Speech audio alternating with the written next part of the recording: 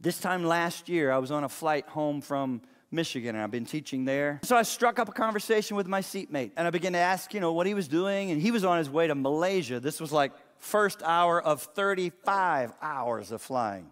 So I asked all kinds of questions about his business and his life. And then I began to ask questions about Grand Haven, Michigan. That was my first time in that area. Beautiful. But he grew up there. So I just kept asking him all about Grand Haven, Michigan. And then I just simply shifted with a question. I just keep wanting you to understand that this is not that hard. Start by showing interest in people, ask them questions. Almost everyone loves to talk about themselves. And then just shift. Try to sound as casual as you can. Hey, you got any thoughts about God? Hey, did you grow up going to church at all? So I did the grow up going going to church? Hey, did you grow up going to church at all? And he said, Yes, he grew up Roman Catholic. His whole life faithfully went to the Catholic Mass, did Catholic school all the way through high school. I'm just listening. I don't make any comment. He says, But recently my wife has led us to a Protestant church, and they're going through preaching and teaching through the book of Matthew. I'm like, Yay. Still just being quiet, but thinking, Oh, this is good. Now you would be hearing about Jesus, who he is, what he did Wonderful. And he actually loves this pastor. He's like, oh man, I love our pastor. He goes to Israel every year.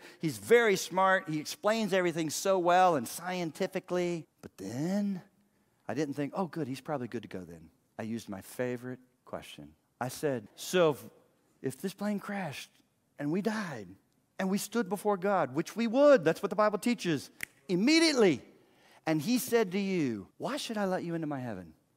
You guys, that is my favorite, favorite it just cuts to the chase. It will bubble to the surface what they're actually trusting in. What they say next is going to tell you exactly what they believe. You're either going to hear, Well, I try to be good, or I try to keep the Ten Commandments. I try to treat people the way I would want to be treated. One of my favorite answers to that good thing, I'll say, Did you know that good people go to hell? That gets them. Well, then who goes to heaven? Well, let me tell you. But anyway, this guy, when I said, so, what would you say? And he said, Wow, that's a hard question. I don't know. It's kind of a mystery. You guys, we've been using the word mystery in this message, but let me make something clear.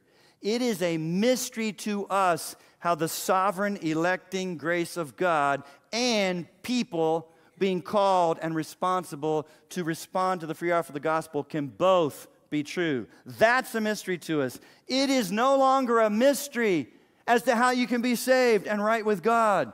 God isn't make, has not made that confusing. It's never been more understandable and simple. So I shared the gospel then. I said, Jesus came into this world, took on flesh, and is the only one who ever perfectly kept the Ten Commandments. Lived a perfect life.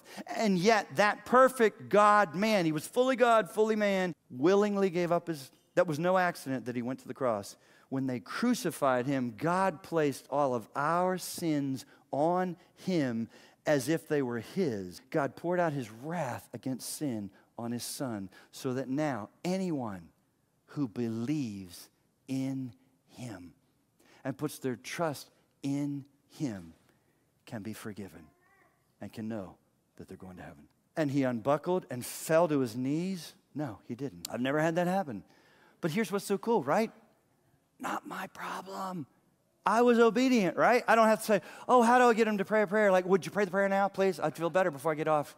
It would seem like a win. I'm going to trust God because you think about it. How many of you got saved the first time you heard the gospel? You heard it and you're like, well, yeah, you heard it. You heard it. You went to a funeral. You had a coffee conversation with a friend. I'm just doing my part. I shared the gospel and then I said, I'd love to give you this. I gave him my favorite track, Ultimate Questions. And I said, Would you read this? He'd already declared he was going to watch endless movies. I said, In your next 34 hours, would you take one of them to read this? That's it. God is saving people today. Hold, oh, but hang on.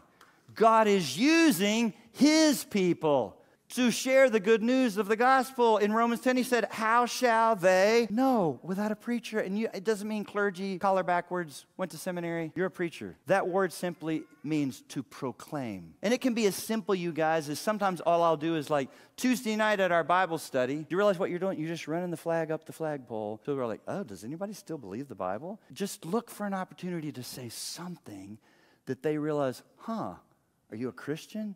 Look for opportunities to start gospel conversations because he wants to use us to get the good news to other lost people who must hear it and must believe and put their hope in Jesus, or they will not be saved. God wants to use us.